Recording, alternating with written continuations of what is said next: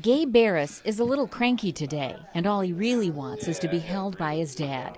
He's just back from more tests at Cincinnati Children's Hospital while he waits for a new liver. We're just in a waiting process. Uh, we have a pager, you know, and as soon as that goes off, then you know we have about five hours or so to to get our way down to Cincinnati. At three weeks old, his parents took Gabe to the emergency room because of a high fever.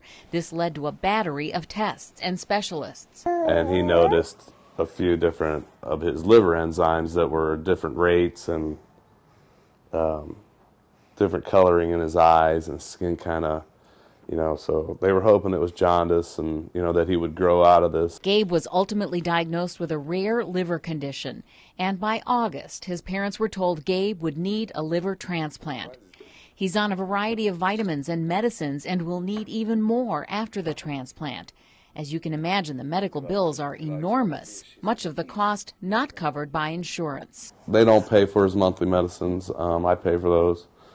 You know, I, I, I it's like 400 bucks a month for just his vitamins. Um, they don't deem them necessary, but that's fine. The Barrises found out about the Children's Organ Transplant Association, a national charity that helps organize community fundraising for transplant patients.